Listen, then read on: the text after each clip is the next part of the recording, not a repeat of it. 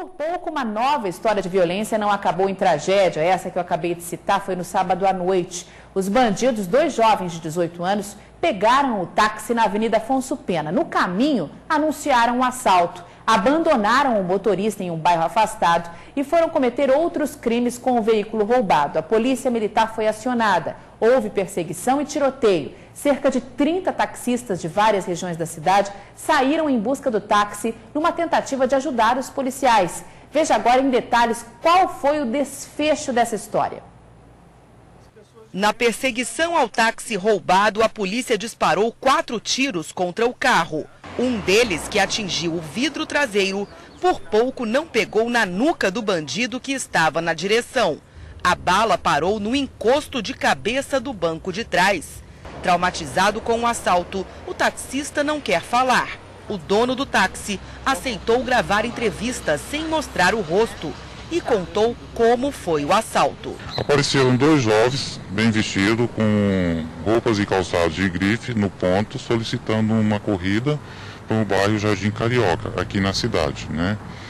E chegando no meio do trajeto, abordaram o motorista com uma arma na cabeça, que era um assalto. Depois de abandonarem o taxista, os bandidos usaram o táxi roubado para cometer outros crimes. Eles tomaram o carro e saíram pela rua Avenida Tiradentes e realizaram um assalto numa conveniência e abordaram um jovem, também assaltaram ele.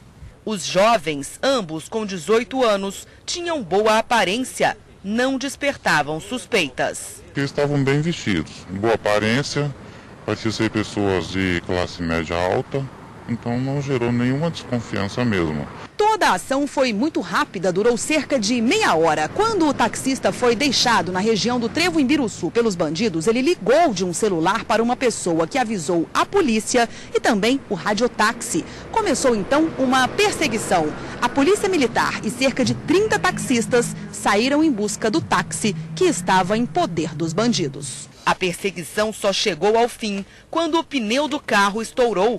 Os dois foram presos. No dia 26 de agosto, o taxista Daniel Manuel Dudu, de 50 anos, foi morto com um tiro na cabeça depois de fazer uma corrida para quatro jovens que saíam de um show. Um dos adolescentes, que já tem passagem por unidades de internação, teria se negado a pagar e disparou contra o taxista. Para quem trabalha com táxi, a onda de violência em Campo Grande tem explicação. Agora, com o relaxamento das prisões que, que ocorreu agora recentemente e com o uso de cartões nos ônibus, os bandidos agora estão migrando para o táxi. E com isso está tendo uma insegurança muito grande em relação ao trabalho do serviço de táxi, né? O curioso dessa história é que esses dois jovens que foram presos não tinham nenhuma passagem pela polícia até sábado à noite, quando assaltaram um taxista. Muito pelo contrário, no registro de ocorrências da Polícia Civil, eles apareciam apenas como vítimas de ladrões.